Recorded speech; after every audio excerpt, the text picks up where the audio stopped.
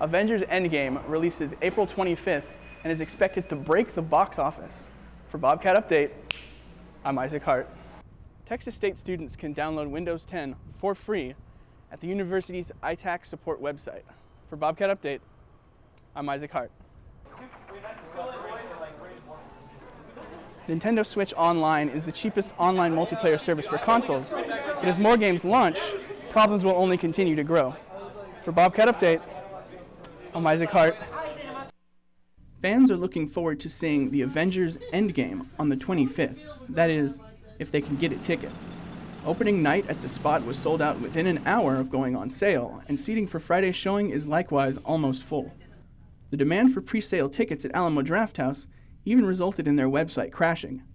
With that, it's no surprise that ticket site Fandango reports that Endgame has set the record for the most pre sale tickets purchased within 24 hours.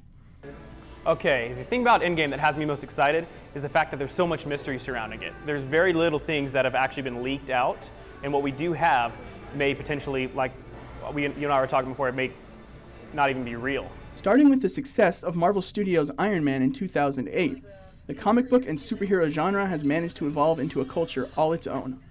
Avengers Infinity War had audiences watch Thanos use his Infinity Gauntlet to snap half of our favorite Marvel Comics heroes out of existence. The popularity of comic books, shows, and movies has also had quite an impact on the comic book sales industry. Because the, the Avengers take in a lot of Marvel characters, you know, from Iron Man, Thor, Hulk, everybody. So it's, it's always it picks up interest in certain titles, the sales too.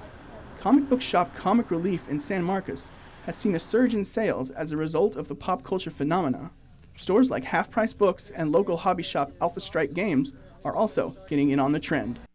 The Super Smash Bros. franchise has come a long way since the first entry was released in 1999 with eight playable Nintendo fighters. The latest entry in the series, Super Smash Bros. Ultimate, boasts more than 70 fighters and it received a sizable update last week. However, when attempting to download the update to their consoles, players encountered errors and connection problems. I do have a roommate who did. He was up until 5 in the morning to get a character he purchased about four months back when the game released. And even at that time, he wasted about maybe five more hours just to get the update to restart because once it started at 5 a.m., it crashed. Nintendo's track record for online and online multiplayer services is far from spotless. According to top players, this isn't the first time Nintendo has had poor online functionality. There have been similar problems with earlier versions of the Smash Bros. series. When I'm playing Smash, because it's a fighting game, I do have a lot of delay or like lag or anything. But other than that, I do have a good time with the online service. Um, do I think I'm getting my money's worth? Uh... Prior to Ultimate's release, Nintendo's online play was free, but that's no longer the case for the Nintendo Switch. Players are paying for an almost identical experience that they once received for free. Their services are very cheap, but they're don't really do anything. Like no one who actually plays Smash competitively uses the online because it's just that bad unless you're streaming it. It's really not awful.